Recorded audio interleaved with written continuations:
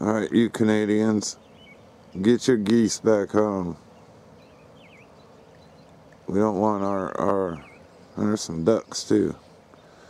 We don't want our backyard to be called a wetland just because it's got a big puddle.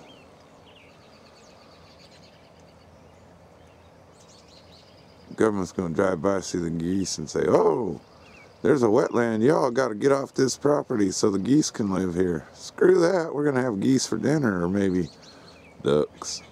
Hmm. It is weird though. It's just a little mud puddle in the backyard that attracts ducks and geese.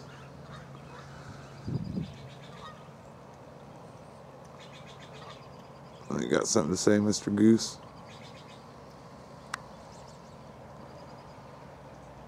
Honk, honk, honk. Yeah. Go back to Canada, geese. You're going to get us in trouble.